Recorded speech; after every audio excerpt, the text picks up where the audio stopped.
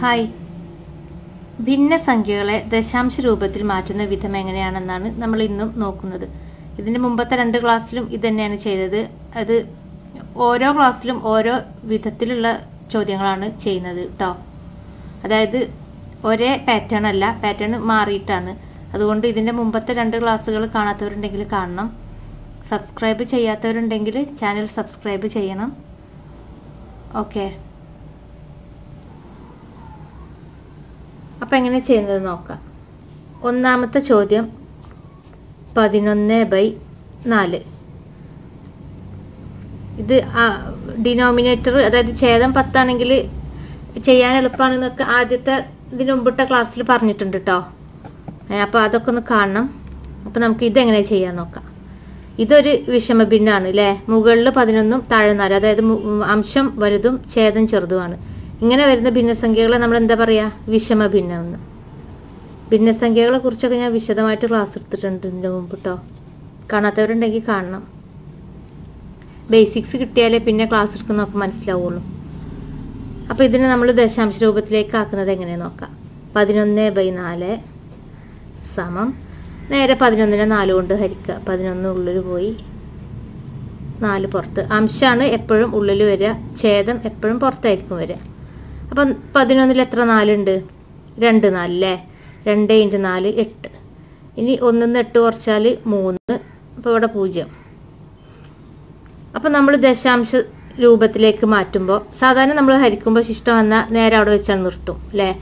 ഇതങ്ങനെ നിർത്തരുത്. ഇത് നമുക്ക് പൂജ്യം വരുന്നത് വരെ നമ്മൾ ഹരിച്ചുകൊണ്ടേയിരിക്കുക. അപ്പം നമുക്കിത് പൂജ്യമാക്കി മാറ്റണം. താഴെ ശിഷ്ടം. അതെങ്ങനെയപ്പോൾ ചെയ്യുക പതിനൊന്നിന്ന് എട്ട് കുറച്ചപ്പോൾ മൂന്ന് കിട്ടി. ഇനി ഈ പതിനൊന്നിന്റെ നേരെ വലത് ഭാഗത്ത് നമ്മളൊരു പൂജ്യം ചേർത്ത് കൊടുക്കും. ഈ പൂജ്യം ചേർക്കുന്നതോടൊ ചേർക്കുന്നതോടൊപ്പം തന്നെ മുകളിൽ പോയിന്റ് ഇട്ട് കൊടുത്ത്. ഇനി ഈ പൂജ്യം നേരെ താഴെ ഇറക്കി എഴുതും മൂന്നിന്റെ അടുത്ത്. അപ്പം മൂന്ന് മുപ്പതായിട്ടോ?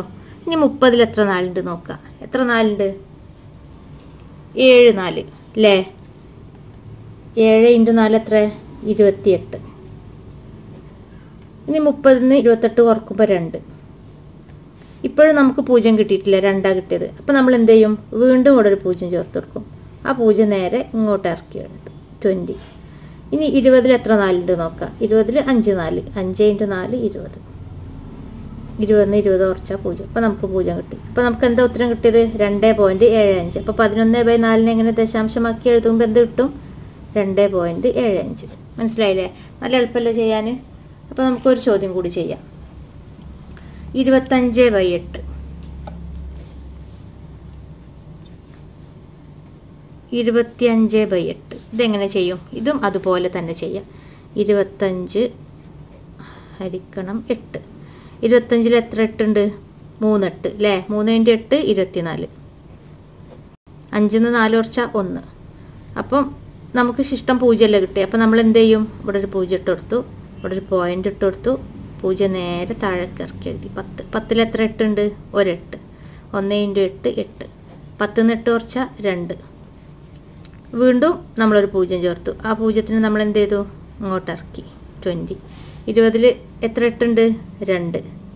രണ്ട് ഇന്റു എട്ട് പതിനാറ്. ഇരുപതിന് പതിനാറ് കുറച്ച നാല്. ഇപ്പോഴും നമുക്ക് ശിഷ്ടം പൂജ്യമല്ല കിട്ടിയ? നാലാ കിട്ടിയ. അപ്പം നമ്മൾ എന്ത് ചെയ്തു? വീണ്ടും ഒരു പൂജ ഇട്ടു. ആ പൂജ നേരെ ഇങ്ങോട്ട് ഇറക്കിയിട്ടു നാൽപ്പതിൽ നാൽപ്പതിൽ എത്ര എട്ടുണ്ട്? അഞ്ചെട്ട്. അഞ്ച് ഇന്റു എട്ട് നാൽപ്പത് അപ്പോൾ നാൽപ്പത് കുറക്കണം. നാൽപ്പത് പൂജ്യം. മനസ്സിലായോ? അപ്പോൾ എന്താ ഉത്തരം കിട്ടിയ? മൂന്ന് പോയിന്റ് ഒന്ന് രണ്ട് അഞ്ച്. സമം മൂന്ന് പോയിന്റ് ഒന്ന് രണ്ട് അഞ്ച്. വളരെ എളുപ്പമല്ലേ ചെയ്യാൻ എന്നാ ഒരു ചോദ്യം കൂടി ചെയ്തിട്ട് നിർത്തല്ലേ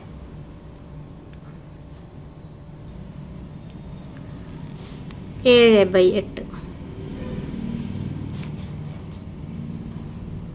ഏഴ് ഹരിക്കണം എട്ട്. ഏഴിൽ എട്ട് പോകില്ല അപ്പം നമ്മൾ പൂജ്യം ഇട്ട് കൊടുത്തു.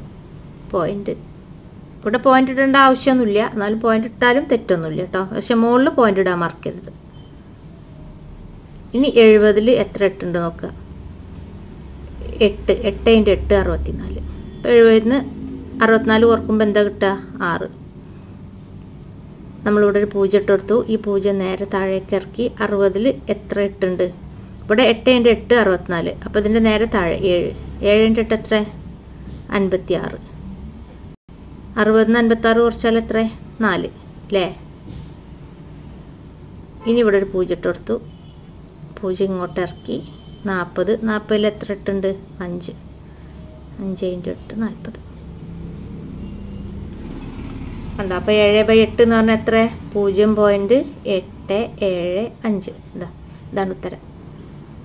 അപ്പോൾ ഇനി നമുക്ക് അടുത്ത ക്ലാസ്സിൽ വേറെ ഒരു പാറ്റേൺ ഉള്ള ഒരു ചോദ്യം കൂടിയായിട്ട് വരാം കേട്ടോ അതായത് ഒന്ന് ബൈ മൂന്ന് പിന്നെ ഒമ്പത് ബൈ പതിനൊന്ന് ഇതൊക്കെ ചെയ്യുമ്പോൾ നമുക്ക് ഒരു പോയിന്റ് കഴിഞ്ഞിട്ട് അടുത്ത സംഖ്യകൾ ഒന്ന് അതായത് മൂന്ന് മൂന്ന് മൂന്ന് മൂന്ന് ഇങ്ങനെ കണ്ടിന്യൂസ് ആയിട്ട് പോയിക്കൊണ്ടിരിക്കും. നിൽക്കൂല അല്ലെങ്കിൽ ഒന്ന് രണ്ട് ഒന്ന് രണ്ട് ഒന്ന് രണ്ട് അല്ലെങ്കിൽ എട്ട് ഒമ്പത് എട്ട് ഒമ്പത്.